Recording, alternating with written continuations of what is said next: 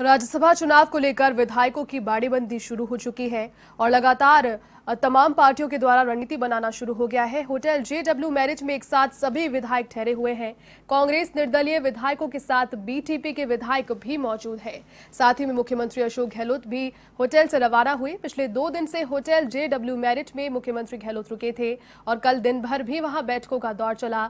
अलग अलग विधायकों ने मुख्यमंत्री के साथ मुलाकात की और सभी तेरह निर्दलीय विधायकों ने मुख्यमंत्री गहलोत से मुलाकात की और पांडे जी से भी मुलाकात की। आज से होटल में नई व्यवस्था लागू होगी। और विधायकों को इसके लिए नए पास दिए गए हैं। इसके अंतर्गत विधायकों के अलावा किसी को भी होटल में एंट्री नहीं मिलेगी। इसके लिए चेकिंग के लिए रिसेप्शन पर चेक पॉइंट बनाया गया है। पास दिखाने पर ही अंदर जाने की अनुमति होगी।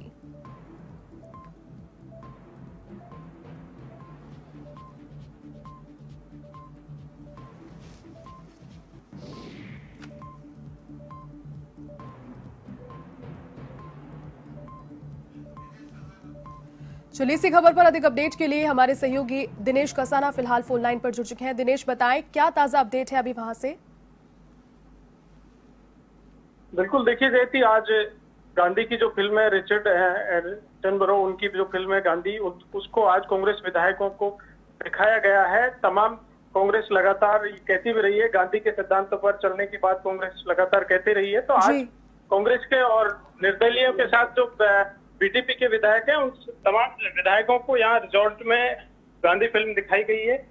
दोपहर को बौद्धिक सेशन होता है शाम को सांस्कृतिक साथ ही क्रिकेट का मैच भी आज यहाँ पर रखा गया है। विधायकों के लिए पूरी मनोरंजन की व्यवस्था की गई जी, है। जी, जी. मुख्यमंत्री अशोक गहलोत पिछले दो दिन से यहाँ पर लगातार कैंप किए हुए थे। विधायकों से लगातार उनकी समस्याएँ जान रहे थे।